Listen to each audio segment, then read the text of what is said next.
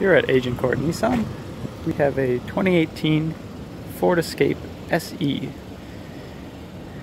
This vehicle is Drive Shield certified. Let's take a look and see what it has to offer. Starting with the driver's side door, this vehicle has power locks, mirrors, and windows with an automatic driver's side window. This vehicle also has power seating and lumbar support seats five passengers with two seats in the front and three seats in the back.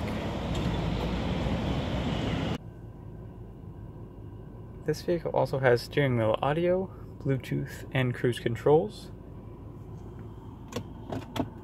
Has a built-in rear view camera,